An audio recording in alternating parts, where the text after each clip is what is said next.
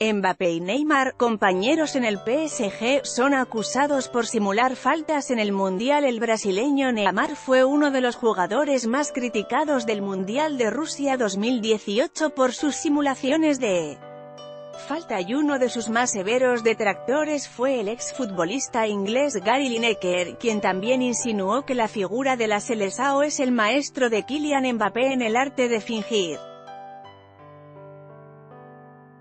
En el partido entre Uruguay y Francia por los cuartos de final, Mbappé simuló una agresión del Cristian Cebolla Rodríguez tras dar un pase de taco.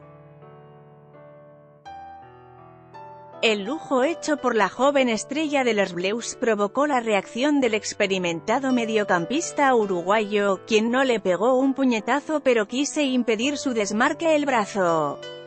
No puedo imaginar dónde Mbappé aprendió eso, escribió irónicamente Laigner en su cuenta de Twitter, insinuando que Mbappé exageró la falta como lo hace habitualmente Neymar, su compañero en el Paris Saint-Germain.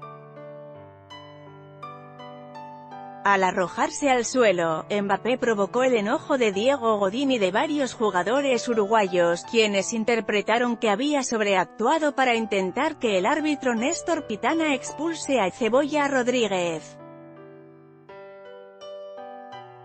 Lo mismo sucedió varias veces en este torneo con Neymar, quien fue increpado por rivales por simular golpes inexistentes. Neymar, quien ha sido blanco de memes y burlas por sus simulaciones de faltas durante todo el torneo, también lo hizo en la eliminación de Brasil.